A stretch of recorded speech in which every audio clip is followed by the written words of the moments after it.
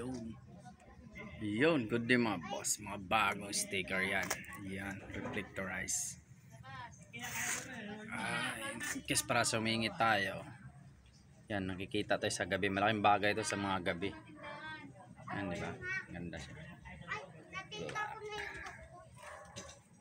Yan, abangan nyo yung mga sunod na kulay ko mga boss, mga kaagayan.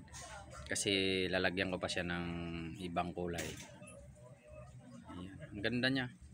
The best. Ah. Yung mga ano. Meron din yan sa kabila. Yung.